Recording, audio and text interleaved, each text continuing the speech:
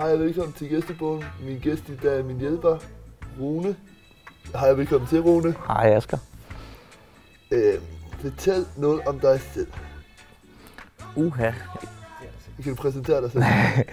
jeg kan godt øh, præsentere mig selv. Jamen, øh, jeg hedder Rune, og jeg øh, arbejder med øh, animationsfilm generelt, og tv og spil og lidt af hvert. Øh, og så øh, er jo din hjælper i en gang imellem, hvor vi tager ud og ser ishockey og fodbold og øh, sådan noget sammen.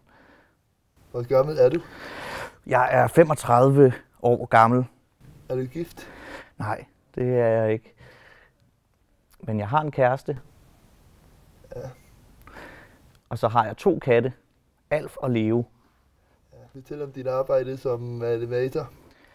Jamen, øh, det kan jeg godt. Øh, jeg startede som, øh, jeg gik på, på, hvad hedder det, på designskolen, hvor jeg er uddannet som, som production designer, som er ligesom en, en scenograf, hvor man designer, hvordan kostymerne skal se ud, og hvordan øh, baggrunde og hele verden i film skal se ud. Og øh, derinde, der øh, skulle vi lige pludselig lave lidt, øh, lidt animationsfilm øh, for at prøve det af. Og så forelskede jeg mig fuldstændig i, at man kunne lave alt fra himmel til jord. Du kunne få det til at foregå på månen, eller i alternative universer, eller med vilde karakterer. Og, øh, det var kun fantasien, der sætter grænser i, i, i tegnefilm og i animation. Så, øh, så, så forelskede jeg mig i det, og, og, og kommet til at sidde, sidde lidt fast i den del af, af filmverdenen og tv-verdenen. Fortæl om dine idéer og de film, du har lavet. Jamen, øh, jeg, en af dem, jeg er mest stolt af, er en serie på Ramachan, som hedder Nataben og Møgdyret. Yes, flammer. Flot. Tænder du så bålet? Ah. Oh. øh, det er et projekt, som handler om tre øh, hjemløse dyr, der sidder ude i en meget, meget kold, isoleret vinterverden.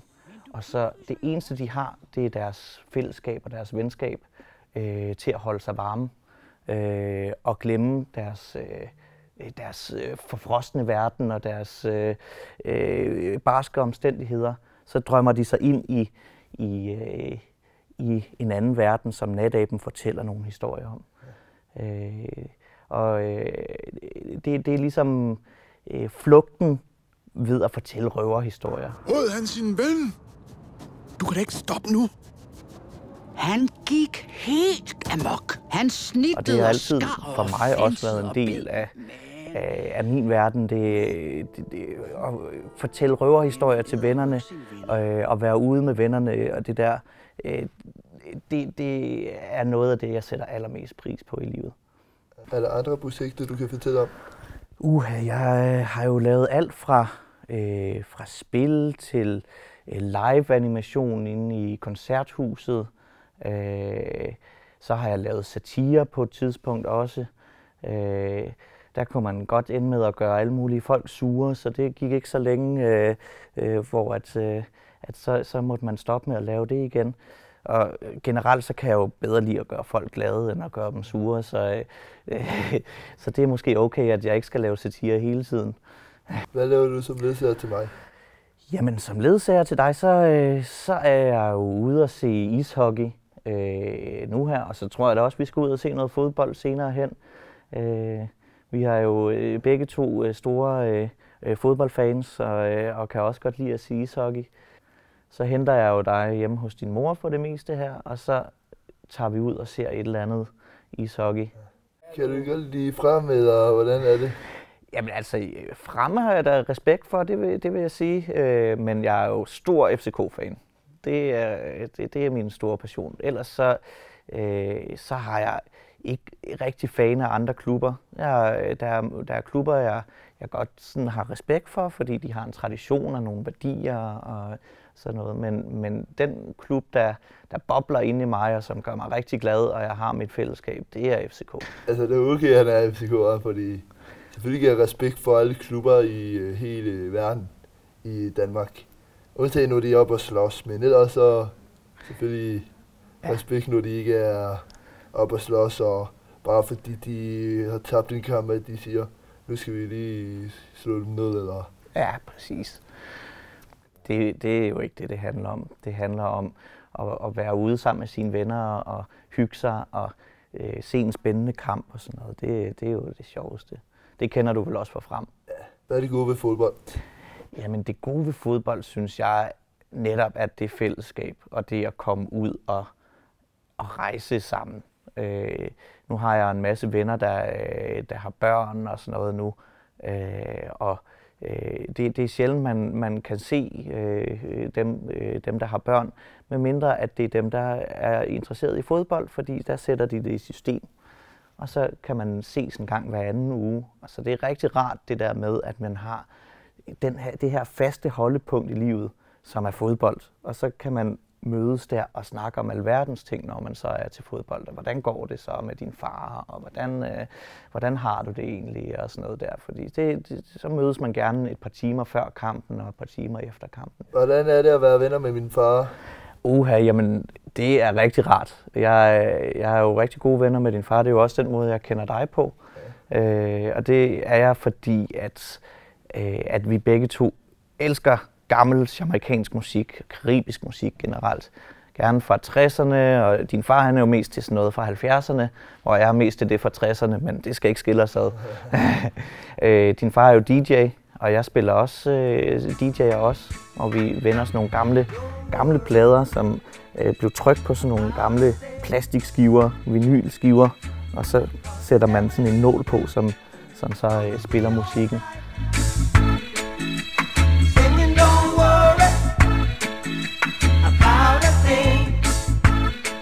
Er sådan en, en, en lille kultur, der, der eksisterer rundt i, i.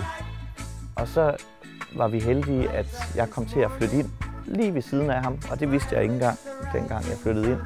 Men øh, nu er vi naboer, øh, så vores fælles ven, han sagde, jeg tror, det er der, øh, Askers far bor. Og så, øh, så øh, skrev han til ham, og så gik der fem sekunder, så, øh, så ringede, øh, så ringede Ask, eller hvad hedder, så ringede Asker far til mig, og Øh, og så, hvad, er du flyttet ind i en forening og sådan noget der? Og nu ser vi hinanden næsten, næsten dagligt. I hvert fald en gang om ugen. Ja. Og så var det jo, at jeg mødte dig til din fødselsdag en gang, da vi var oppe, hvor at Askers far så øh, inviterede op til, øh, til fødselsdagen. Og så sad du der og var sød og kunne lide ishockey og fodbold. Og så kunne vi jo ikke stoppe med at snakke om de ting. Hvad er din yndlingsfilm?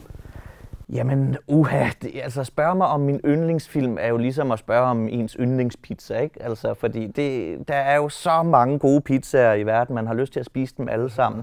Øh, og øh, og det, er jo, det er jo alt efter, hvad man lige er i humør til. Men jeg kan jo rigtig godt lide animationsfilm generelt og sådan noget, og, og øh, der, der findes nogle film af en japansk øh, instruktør, som hedder Miyazaki, og han har lavet nogle, for eksempel Chihiro og Heksene og sådan noget der, som jeg synes er nogle fantastiske universer. Og så vil jeg sige, at jeg også har en ting for sådan noget gammel dansk øh, klassisk tegnefilm, øh, som, øh, som Cirkeline og øh, de her Janne Kastrup ting. Øh, Bennys Badekar har jeg også altid været stor fan af. Øh, og ham, Janne Kastrup, øh, han, han lavede rigtig, rigtig fede ting tilbage i 70'erne, som havde lidt kant og lidt sådan værdier. Sådan, men, øh, for eksempel så lavede han en, der hed øh, Historiebogen, som, øh, som, øh, hvor at, at der er for eksempel en mus, der kommer ind i en bank, og så, så kigger han ind i kameraet, og så siger han, sikke en 20 for eksempel. Så man kunne godt for, øh, øh, dengang formå at, at lave nogle, øh, nogle ting, som var sådan lidt imod det etablerede borgerskab og sådan noget der. Det synes jeg er sjovt. Øh, og, og på trods af, at de var så øh, idealistiske dengang, øh, så øh, formåede de jo alligevel at blive øh, folkekære, og alle, øh, i hvert fald i min barndom og i generationerne før mig, kendte Cirkeline. Jeg tænker også, der er rigtig mange af jer, der kender Cirkeline nu. Øhm, og Bennys badekar kan jeg også rigtig godt lide, fordi det er sådan en gammel øh, film. Jeg tror, den er fra starten af 70'erne, og det er fordi, der er rigtig god musik i. Og det synes jeg er rigtig vigtigt i, i animationstingene. Det er også noget af det, jeg selv har, har prøvet at bringe ind i, i, i, det, i Nadaben Møgdyret for eksempel. Det er musikken. Og det er også øh, grunden til, at de tre hovedkarakterer, som, som jeg valgte til serien, det var Daimi, som jo har lavet øh, musik tilbage i 60'erne, og noget af det første øh, musik, som, som var inspireret af, af jamaikansk musik i, i Danmark, det, det var hun med til at, at udgive. Så er der Raske Penge, som jeg jo altid har, har været meget, meget glad for.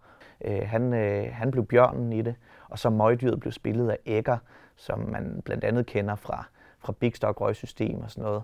Og, og ham mødte jeg en gang ude på en bar på Vesterbro, hvor vi sad og fortalte røverhistorier, og jeg tænkte, okay, han har den her stemme af sådan en, og sådan en skærebrænder stemme, der virkelig øh, brænder igennem. Men du pivfryser jo også. Jeg var sej til at fryse. Det minder mig om Hugtand. Uh, ja, han er ned. Hvor sej er og, og vild. Ja, men I ved nok ikke, at Hugtands bedste ven er en nuttet fisk.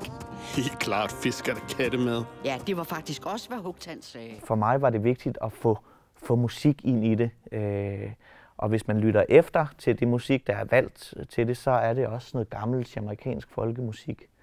Øh, så, øh, og vi lavede en koncert bagefter, øh, da vi udgav en af Aben og Møgdyret, som blev lavet i, i, øh, i koncerthuset øh, øh, inde i DR, hvor at vi havde DR's børnekor til at være inde og synge.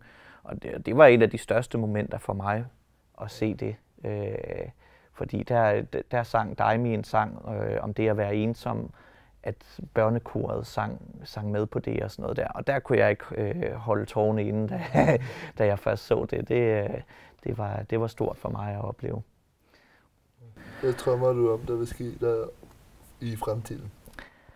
Jamen, i fremtiden så drømmer jeg der om, jeg vil gerne lave mere af, af sådan nogle projekter, øh, som Nadaben og Møgdyret. Øh, så noget, hvor at, øh, at jeg kan få lov til at, at putte musik og kultur og værdier ind i, i det.